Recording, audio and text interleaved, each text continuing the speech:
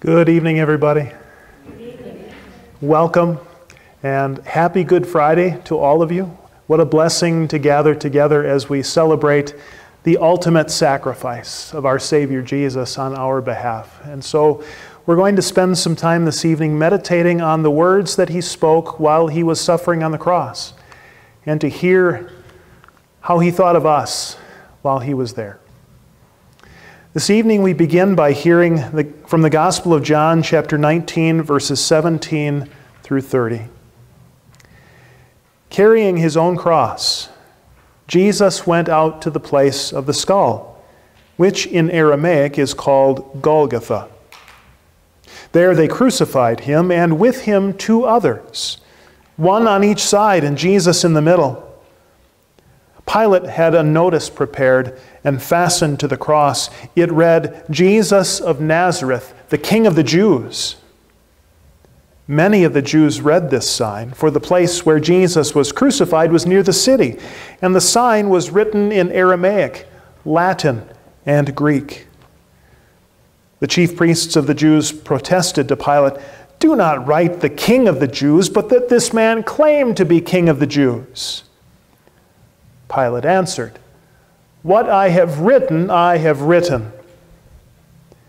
When the soldiers crucified Jesus, they took his clothes, dividing them into four shares, one for each of them, with the undergarment remaining. This garment was seamless, woven in one piece from top to bottom.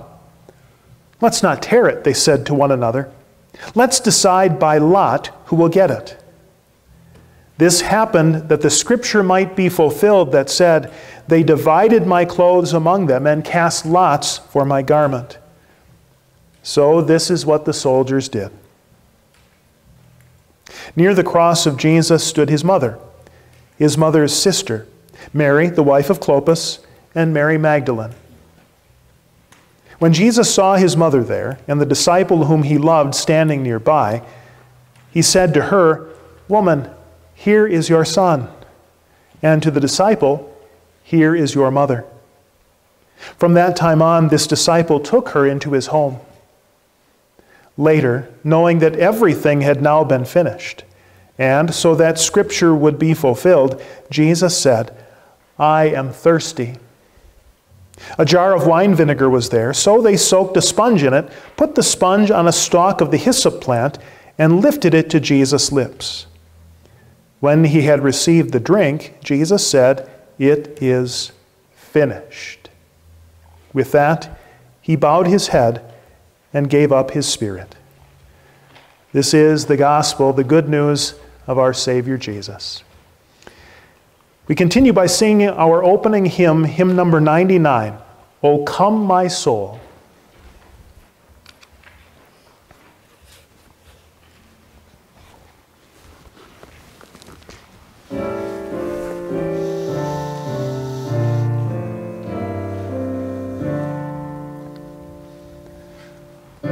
Come, my soul, your Savior see, nailed to your cross on Calvary. Your pains he bears, your thorns he wears, that yours a crown of life might be. Tis yours, my soul, the sin, the shame, the cross, the nails, the thirst, the pain. In agony, his blood runs free to write in heaven's book your name.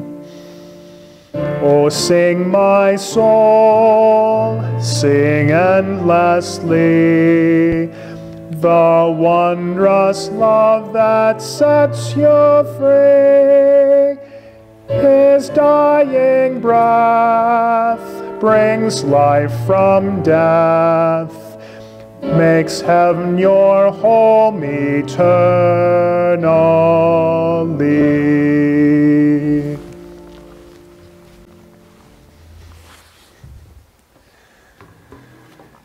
Return to me with all your heart, says the Lord, with fasting, with weeping, and with mourning, with broken and contrite hearts. For the Lord is gracious and merciful, slow to anger, and abounding in steadfast love. We take a quiet moment for reflection and self examination.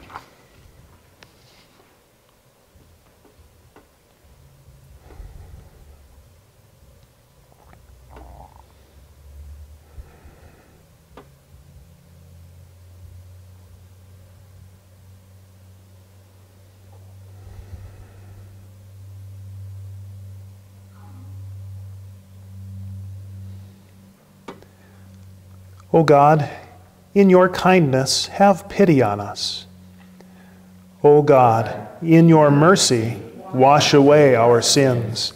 Wash us clean of sin and guilt, the sin with which we were born, the sins that we cannot forget, and those we cannot remember.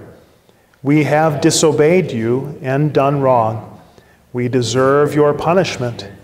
For the sake of Jesus Christ, Turn your eyes away from our sin and cover our guilt, that we may know again the joy of your salvation.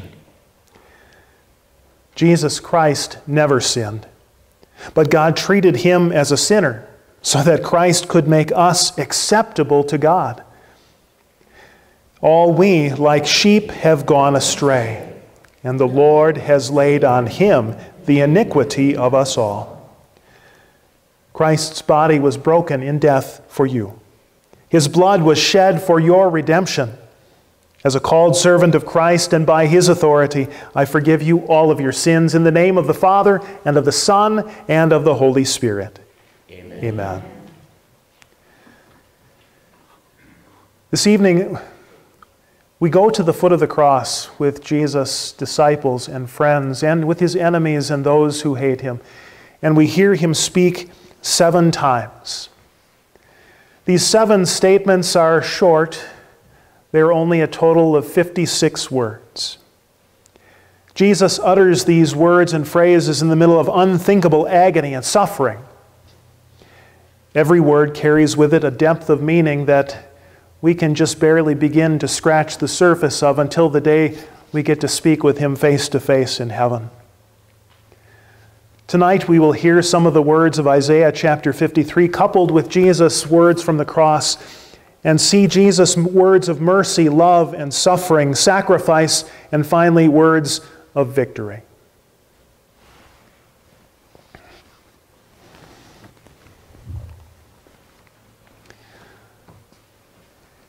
He was despised and rejected by mankind, a man of suffering and familiar with pain.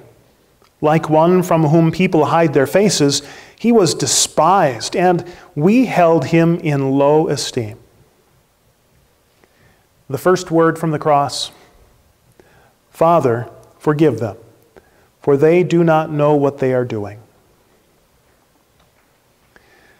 Jesus' first statement is about the longest one 12 words.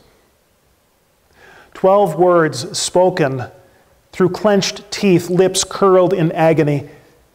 Soldiers pulled his arms apart and stretched them out upon the rough wood as they used iron nails to pierce his flesh. They did the same for his feet. And they went about their work because that's all it was to those men. It was simply work. Jesus could see the distaste in their eyes as they worked around this criminal he could hear the creak of their leather sandals as they moved around him, and he spoke. Did they hear him? And if they were listening, did they understand the depth of love behind the words? Father, forgive them. Father, Jesus continued to pray to his Father because, as the writer to the Hebrews says, during the days of Jesus' life on earth, he offered up prayers and petitions with fervent cries and tears to the one who could save him from death, and he was heard because of his reverent submission. Father. He cried out to his father because he knew his father would hear, his father would listen. Forgive them. Forgive? These men were just doing their job. They had no idea they were doing anything wrong. Forgive them? But even as they did their job, they participated in the wicked work of crucifying the King of glory. Father, forgive them. Jesus loved these men who crucified him. Jesus was following through on things that he had taught his disciples much earlier in his ministry. He told them, Love your enemies and pray for those who persecute you. They didn't know, and Jesus prayed for them. Listen once more, but now listen from our perspective. Father, forgive them because they don't know what they are doing. What do we see in ourselves as we listen to Jesus' words? How have we simply gone about our work not worrying about whether it hurts Jesus, whether it disobeys him, whether it ignores his commands or not? How often have we refused to forgive, saying, They don't deserve it, they've hurt me, they were wrong? How often? And yet, for whom was Jesus praying? Not just for Roman soldiers who, who pinned him to a cross, but he was praying for us. Father, forgive them, for they do not know what they are doing. Tonight, as we leave, or maybe you already did it as you came in, we're going to place a nail in the cross personally, if you wish to do that. It's an opportunity for us to contemplate the, the incredible gift of forgiveness, undeserved, freely given, and completely earned on that cross. Father, forgive them because they don't know what they are doing. At this time, we're going to join in singing the first verse of one of our new hymns from our new hymnal. It's a, it's a very familiar Lenten melody. But each verse is written to correspond with one of the seven words of the cross. So we'll join in the first verse.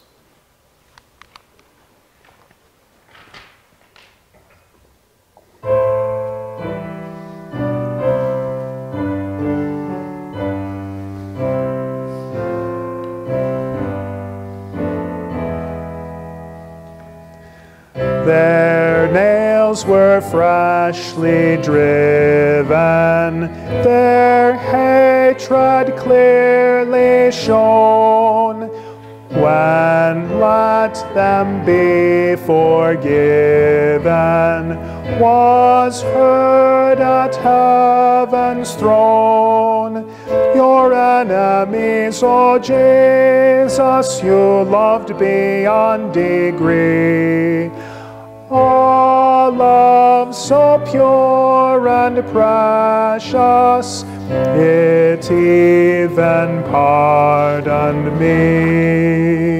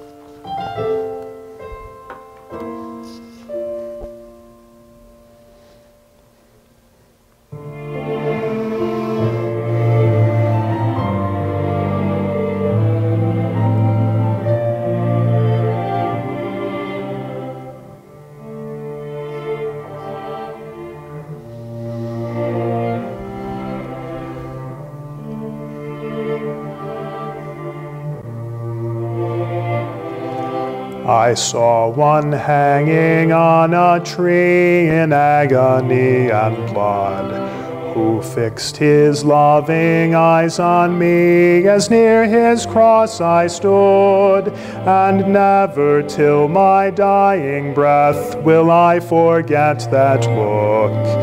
It seemed to charge me with his death, though not a word he spoke. My conscience felt and owned the guilt and plunged me in despair. I saw my sins his blood had spilt and helped to nail him there. But with a second look he said, I freely all forgive. This blood is for your ransom paid. I died that you might live. Forever etched upon my mind is the look of him who died, the Lamb I crucified. And now my life will sing the praise of pure atoning grace that looked on me and gladly took my place.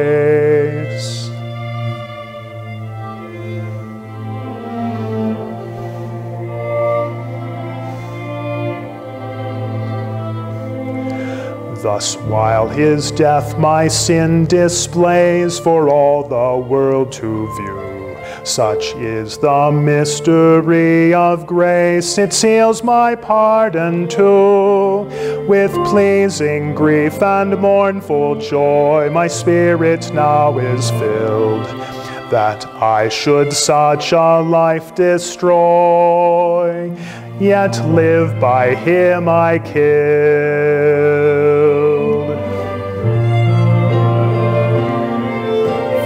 Forever etched upon my mind is the look of him who died, the Lamb I crucified.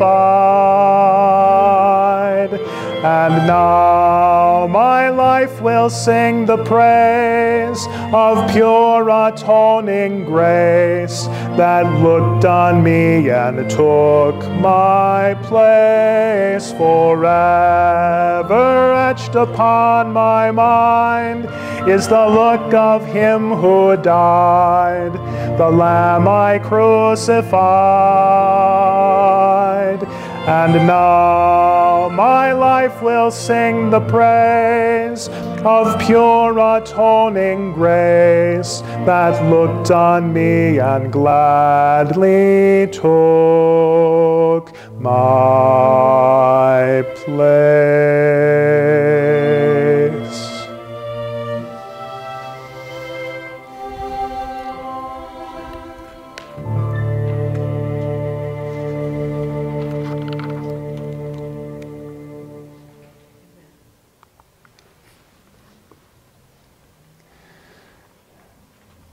We all, like sheep, have gone astray.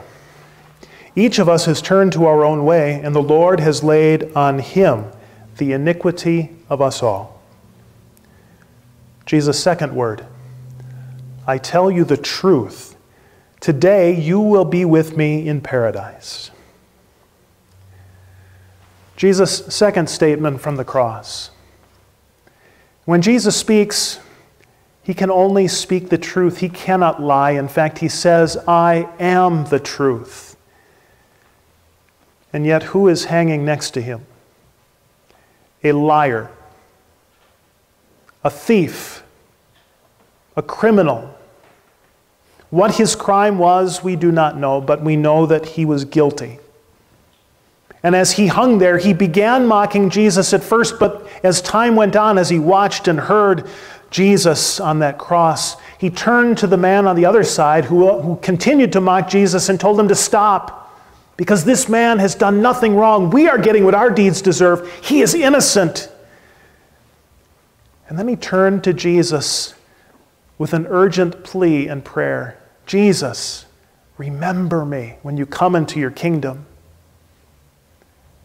And Jesus' response Today you will be with me in paradise. Today. Not tomorrow, not 10 years from now, not 10,000 years from now. Today. Today, you personally, you criminal, you liar, you thief, you will be. Not maybe, not might be, you will be with me. Not alone, not abandoned, not sitting in a prison cell somewhere for all eternity. You will be with me, and where? In paradise. That ancient Persian word that means garden. A new garden, a new Eden that Jesus had waiting for him in the halls of heaven. Today you will be with me in paradise. A perfect place where as John would later write, He will wipe every tear from their eyes. There will be no more death, or mourning, or crying, or pain, for the old order of things has passed away. Paradise. If Jesus could make that promise to a man like that, is there anyone he cannot save? The answer is no, he can save everyone. He can take all of us to paradise. He's made this promise to us. And on that day when he comes and says it's today, then he will take us. And we will be with him in paradise. The second word. Let's join in singing the second verse of our hymn.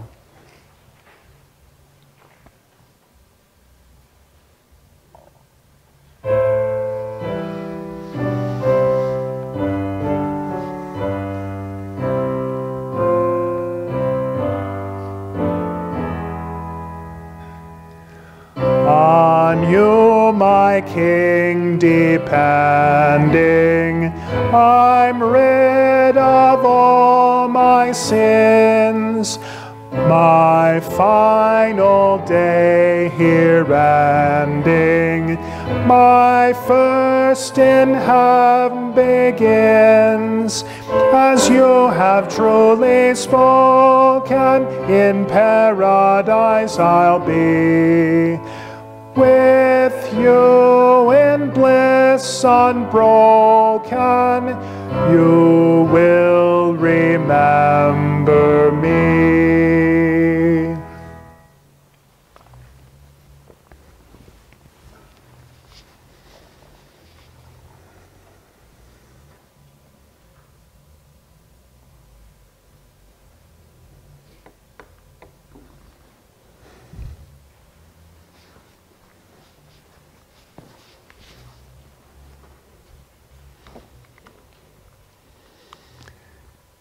Just as the thief prayed to his Savior on the cross, Remember me, our next song enables us to offer that same prayer Jesus, remember me when you come into your kingdom. We'll sing it three times. Jesus, remember me when you come into your kingdom. Jesus, remember me when you come into your kingdom. Jesus, remember me when you come into your kingdom. Jesus, remember me when you come into your kingdom. Jesus, remember me when you come into your kingdom. Jesus, remember me when you come into your kingdom.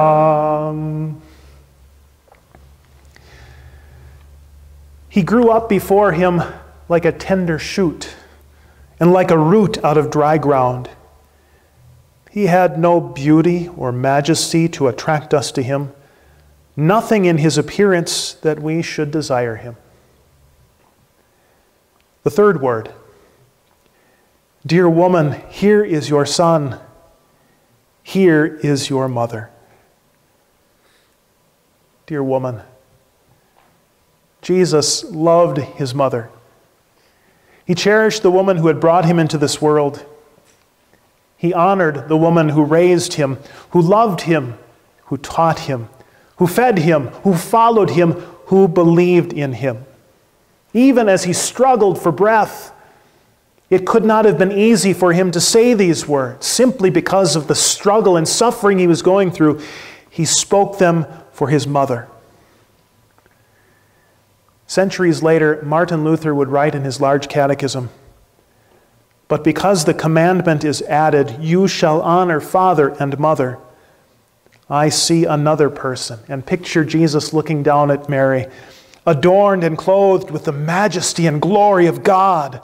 The commandment, I say, is the golden chain about her neck, yes, the crown on her head, which shows me how and why I should honor this particular flesh and blood.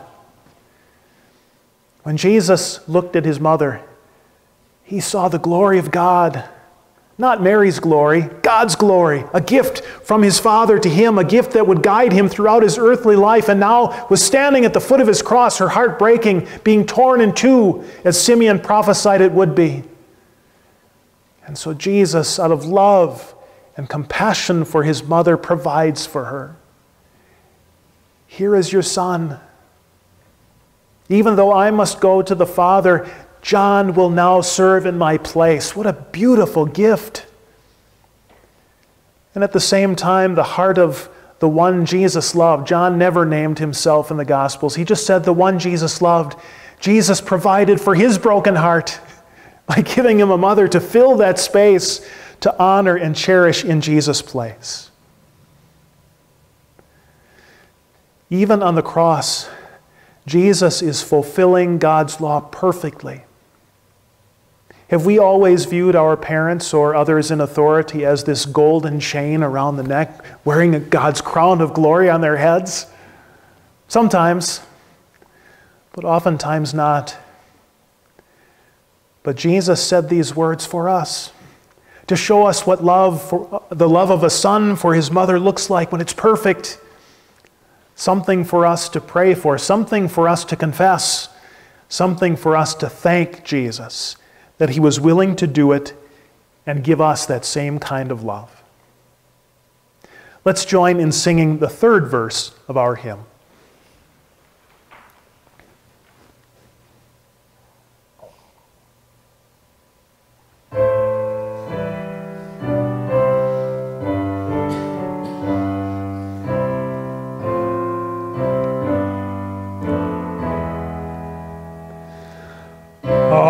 Savior like no other, all self concern denied.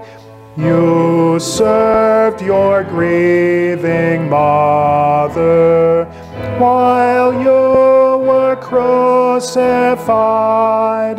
My sin had made me filthy, but I'm the perfect child were designated guilty, and I am reconciled.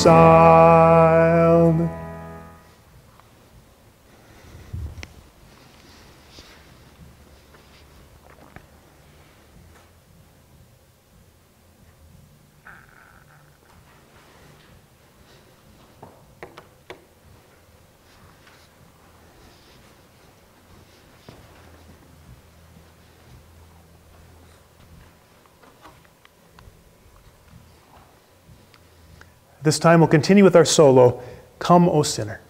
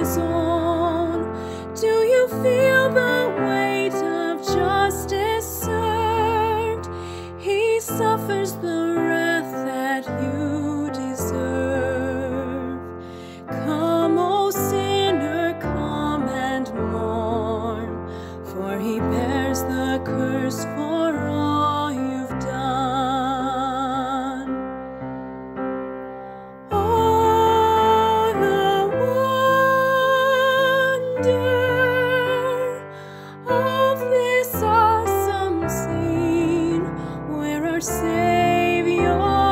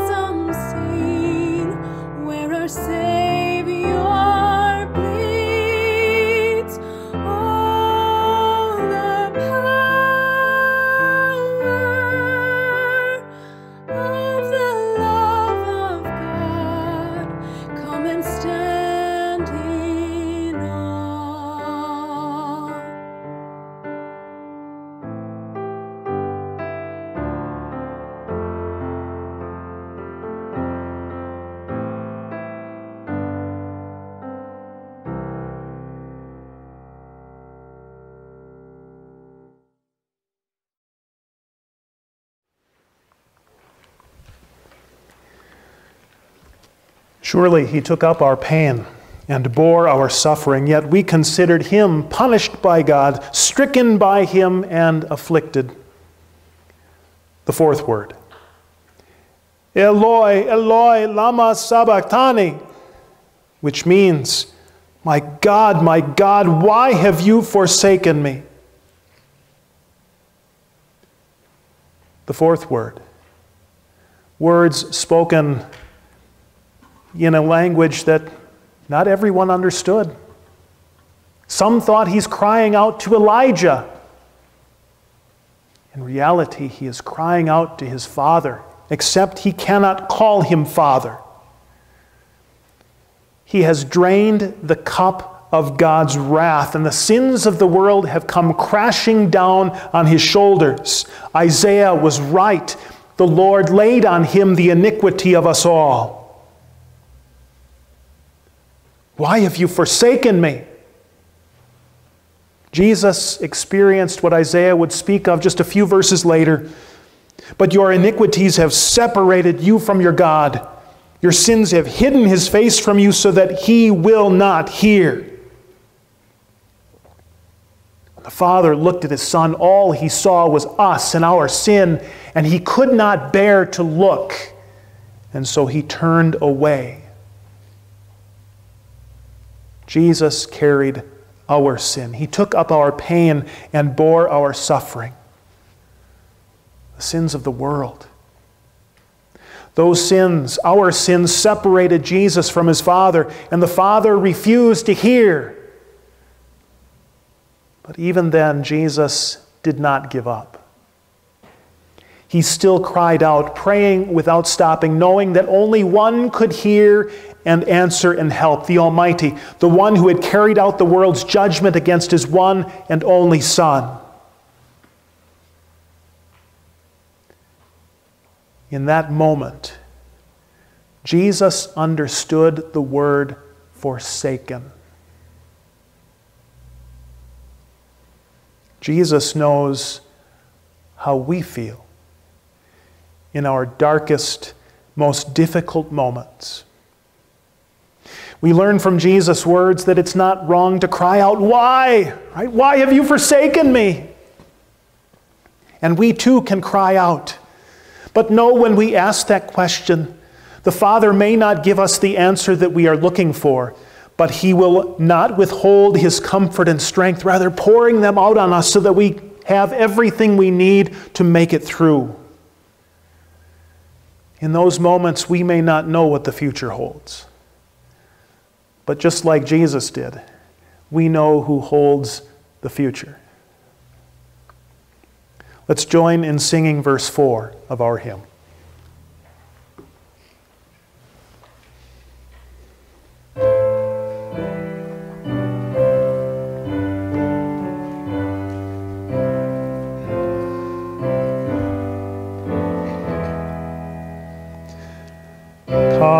Condemned, cut off, forsaken, outside the Father's care. by terror overtaken, no ear would hear your prayer. On you God's wrath was vented, on you his fury fell. When on the cross tormented, you took my place in hell.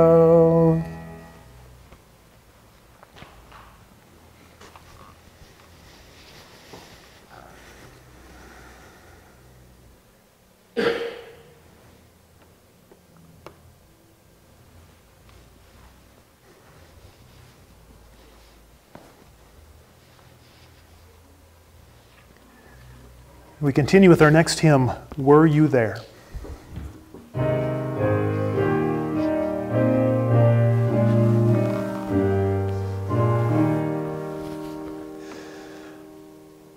Were you there when they crucified my Lord? Were you there when they crucified my Lord? Oh, sometimes it causes me to tremble, tremble, tremble. Were you there when they crucified my Lord? Were you there when they nailed him to the tree? Were you there when they nailed him to the tree? Oh, sometimes it causes me to tremble, tremble, tremble. Were you there when they nailed him to the tree? Were you there when they laid him in the tomb? Were you there when they laid him in the tomb? Oh, sometimes it causes me to tremble, tremble, tremble.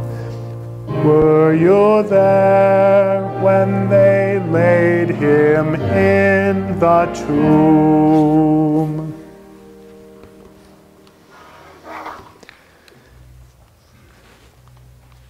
He was oppressed and afflicted, yet he did not open his mouth.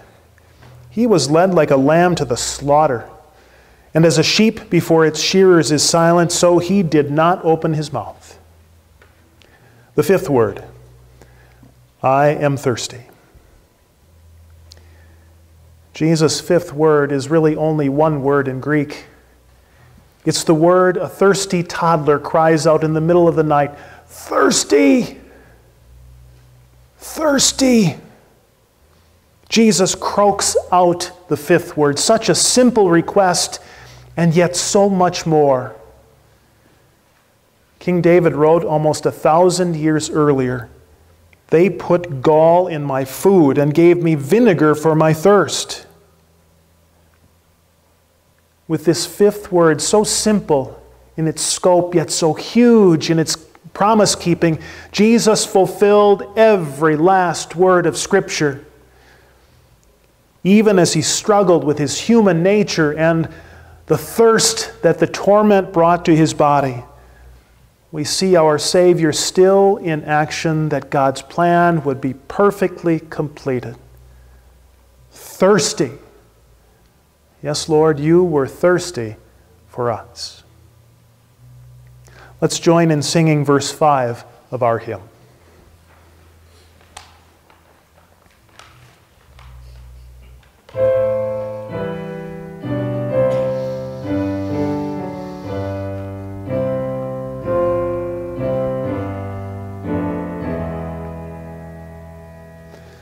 My Lord in death's dark valley, both soul and body drained. One drink would help you rally.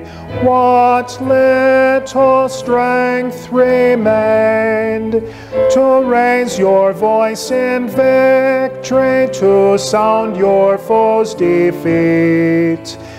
The highest point in history, my rescue was complete.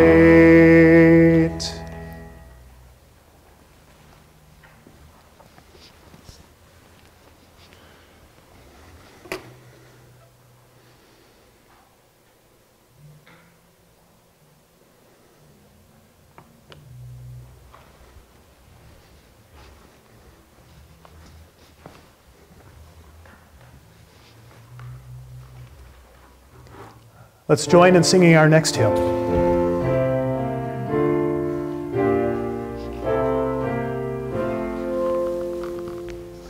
When I survey the wondrous cross on which the Prince of Glory died, my richest gain I count but loss, and pour contempt on all my pride. Forbid it, Lord, that I should boast, save in the death of Christ my God. All the vain things that charm me most, I sacrifice them to his blood. See from his head, his hands, his feet, sorrow and love flow mingled down. Did e'er such love and sorrow meet? Or thorns compose so rich a crown? Were the whole realm of nature mine, that were a tribute far too small. Love so amazing, so divine, demands my soul, my life, my all.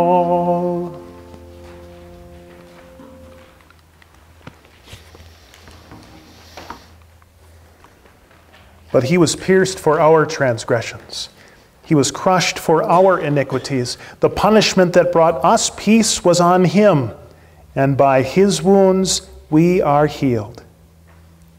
The sixth word it is finished. These are some of Jesus' most famous words, and so often we think of that phrase, it is finished, but this is another one of those one word statements.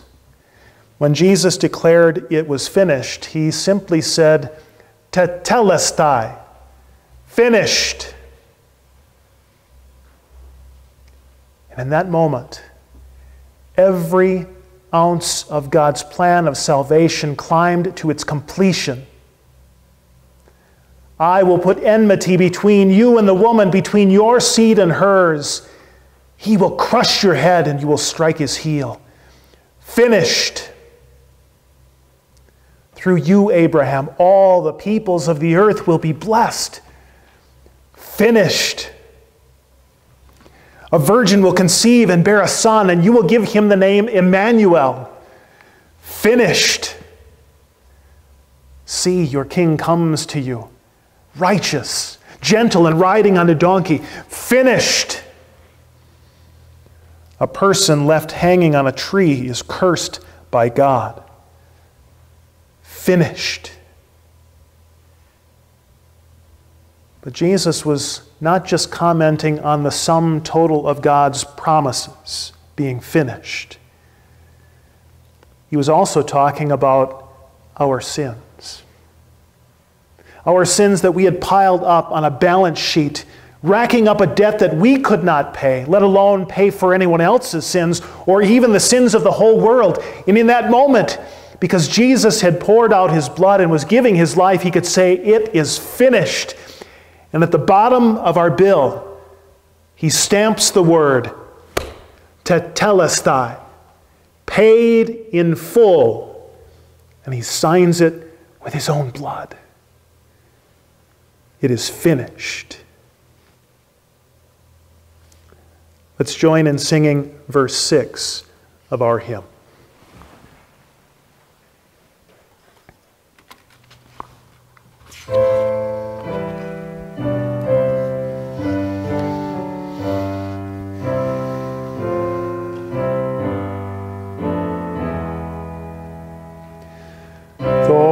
Sin's most lethal wages to me, O Christ, were due. The guilt of all the ages came crashing down on you. Most surely it is finished, my debt is fully paid. My joy is undiminished, my heart is unafraid.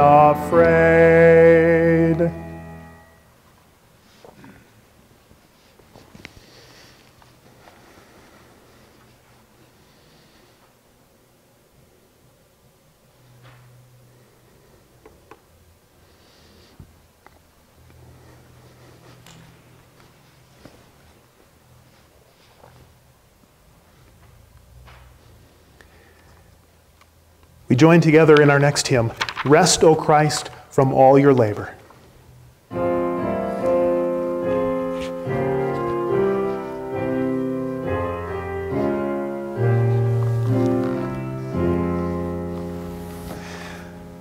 Rest, O Christ, from all your labor. Sleep within your borrowed tomb foes have crucified and bound you fast within death's narrow room. Pilate's guards stand watching, waiting, where they rolled the sealing stone.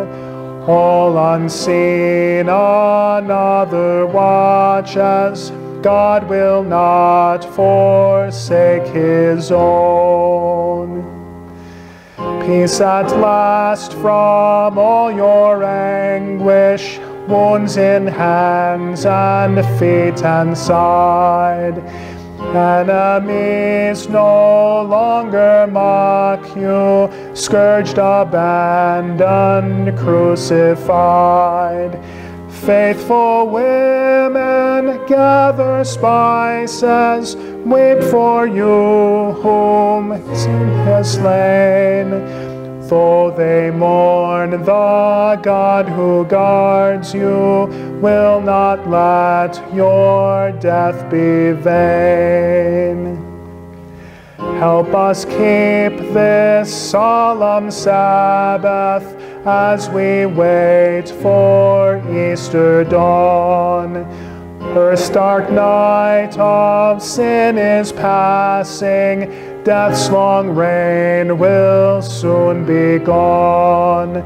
Christ in whom the new creation rises brighter than the sun May we, as we watch for morning, trust the victory you have won.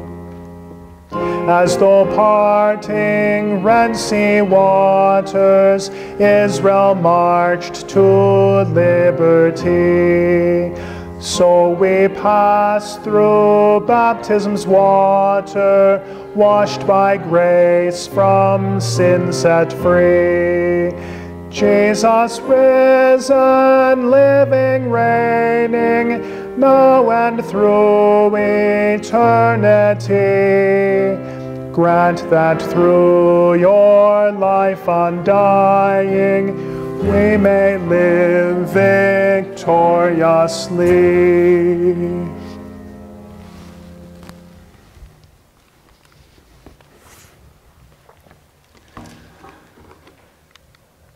The seventh word Father, into your hands I commit my spirit. Jesus' final words from the cross. One last time we hear him gasp, Father. His suffering is done. The payment is complete.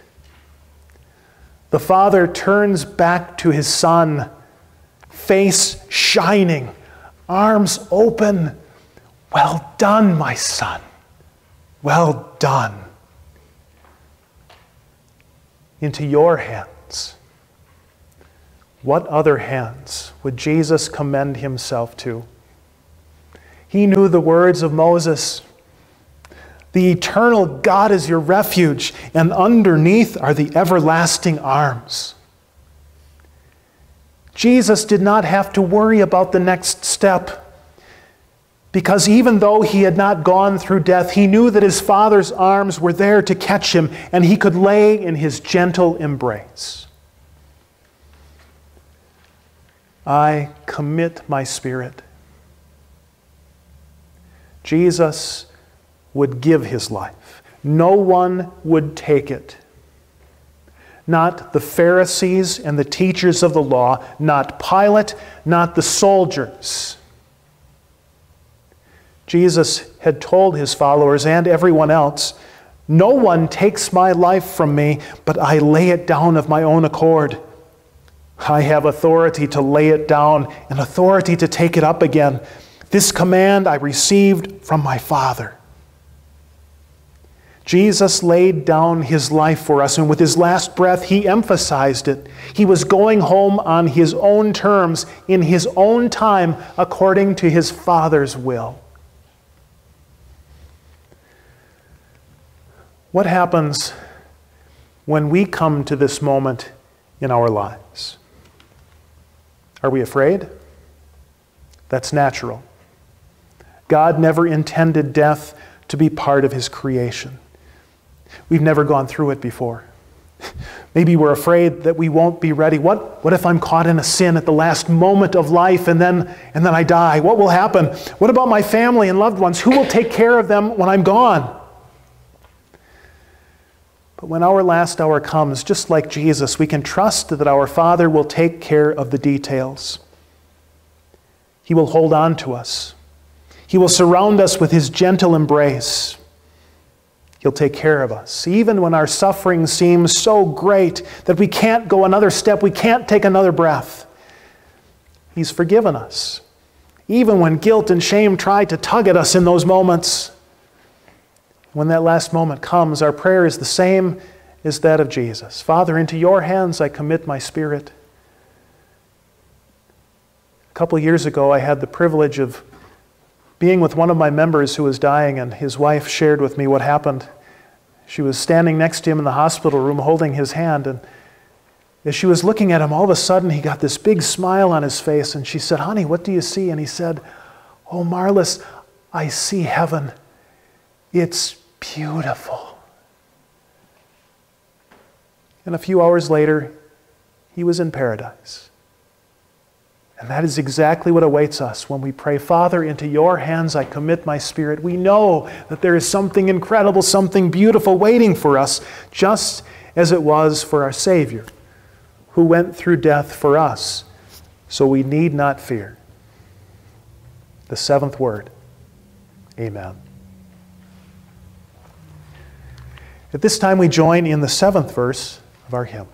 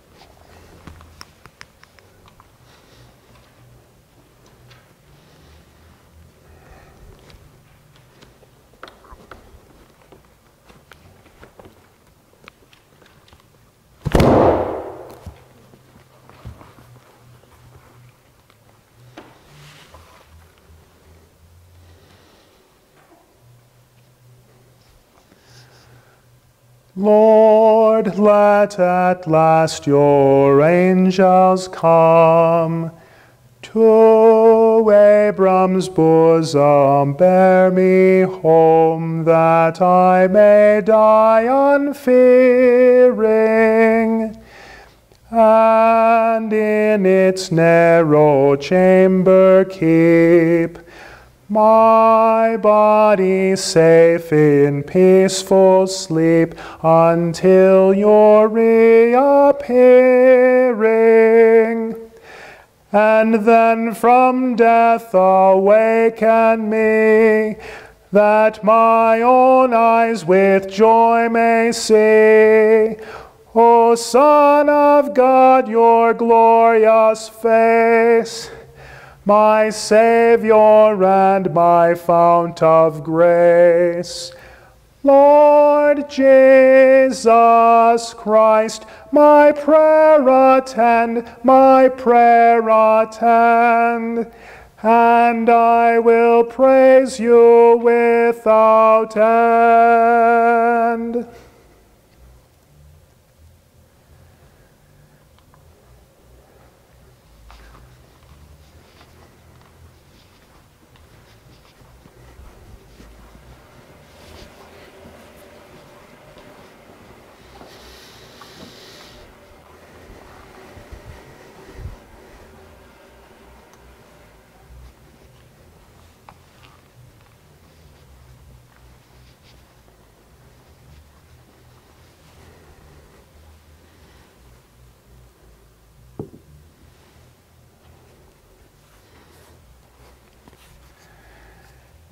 The absence of a lighted candle has symbolized the three days spent by Jesus in the tomb. The candle has returned in anticipation of the light of Easter morning. As the light increases, we remember the way the light of Jesus is spread throughout the world by his faithful followers. He has called us to share the promise of the forgiveness of sins and eternal life in him. The noise of the closing Bible is to acknowledge that our sins were paid for on the cross. Jesus' work was done. He kept his promise. It is finished. As we leave this evening, you're invited to place your sins in the form of that nail on Jesus' cross. It serves as a reminder that each one of us takes part in Jesus' crucifixion. He suffered death on that dreadful tree to take away all of our sin.